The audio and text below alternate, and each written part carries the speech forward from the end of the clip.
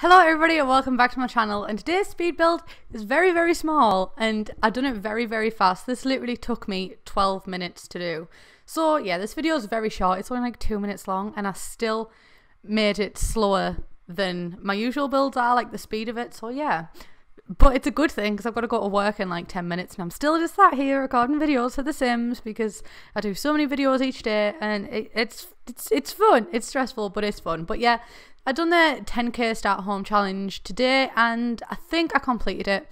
I think she started out with about 14,000 pounds, simoleon, sorry, and I think she left with about 4,000. So overall, we've done pretty good. Um, I just am remembering now that I should have added an extra window in at the side because it got deleted later.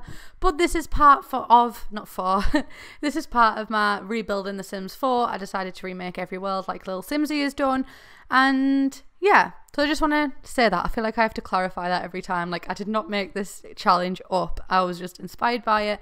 Thought it'd be cool, and yeah. So obviously today I decided to make a mini home for that.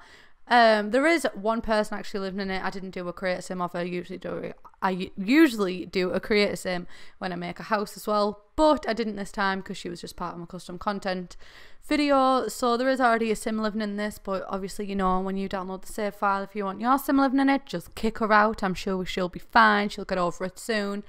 And that's pretty much all I've got to say. The house is pretty bare not much going on, but obviously it's not going to. This is literally a start home by definition. I did make some more room in the bedroom because the bed was against the wall.